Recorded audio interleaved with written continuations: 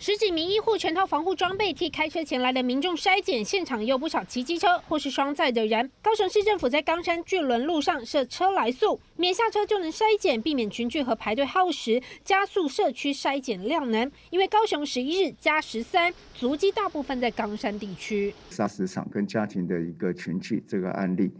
哈，算是总共是二十例嘛。另外一个就是我们这个跨县市的哈，这有到一处旅游哈，那一起聚餐，这两个大概是现在哈算是比较哈需要被哈特别注意的。那市场就一直在传出去哈，所以看起来这是一直在无止境，这中间都一直没有被发现，至少已经有。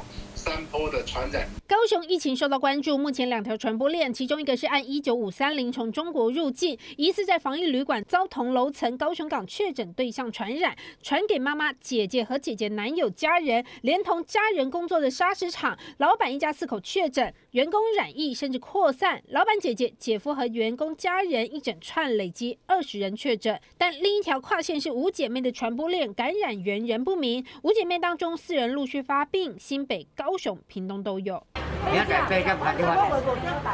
但是你五点就来排啊？四点就来啊！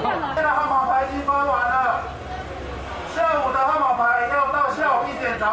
疫情升温，让屏东火车站前随到随打的莫德纳疫苗抢翻了。原定早上八百个名额，有人天还没亮就来排队。早上九点看到的人潮，全是要等下午号码牌。五姐妹跨县市旅游、家族聚餐的感染源仍不明，遍及全台，相关单位、当地居民小心应对。三立新闻朱俊杰、徐世婷、赖碧香，屏东高雄报道。